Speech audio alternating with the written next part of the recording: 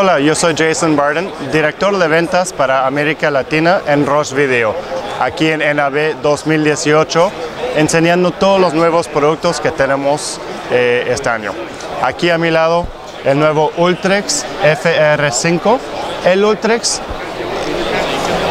es nuestro sistema de, plataforma de processing de audio y video.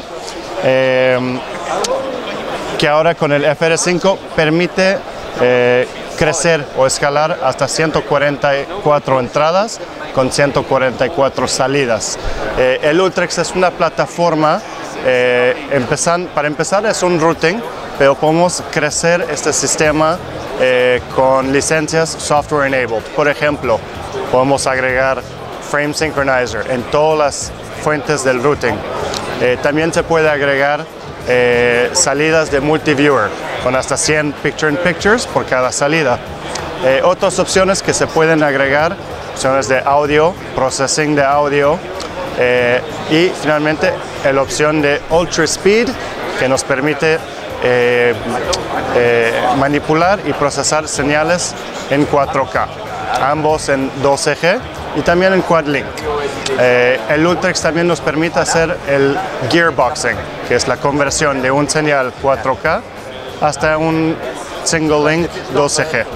En el NAB 2017 hicimos la introducción del producto Graphite.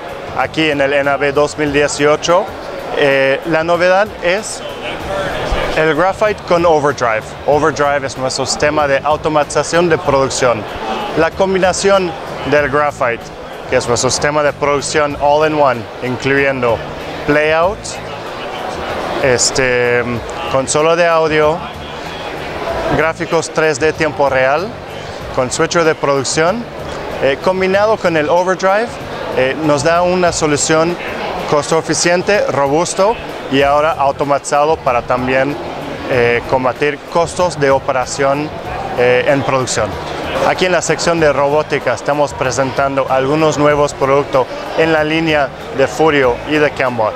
Por ejemplo, aquí tenemos el nuevo Furio sobre rieles con el lift S2, que es un lift, más costo eficiente que, eh, que el Furio que presentamos el año pasado con tres niveles de elevación.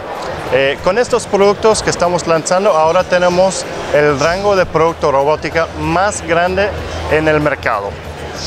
Les invito a conocer más sobre Ross Video y sus equipos en la página de, eh, viendo la página de Ross, eh.